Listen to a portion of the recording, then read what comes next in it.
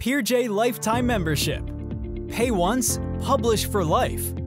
A PeerJ Lifetime Membership is the low-cost, sustainable alternative to article processing charges for open access. A $499 one-time payment gives you lifetime publishing privileges at PeerJ. So how does it work? When your paper is accepted for publication in a PeerJ journal, you have two payment options. Option 1, an article processing charge. Or Option 2, you and your co-authors can become PeerJ lifetime members.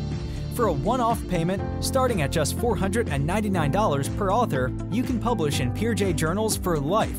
Yes, that's right. A one-time payment allows you to publish for life. So what's the catch? There isn't one. All we require is that all co-authors have a lifetime membership. There are three tiers of lifetime membership at PeerJ, starting at $499, which allows you to publish one article per year for life, to $699, which allows you to publish up to five articles per year for life. It's a one-time payment and you can publish for life. If you want to upgrade your lifetime membership, you only have to pay the difference between the tiers.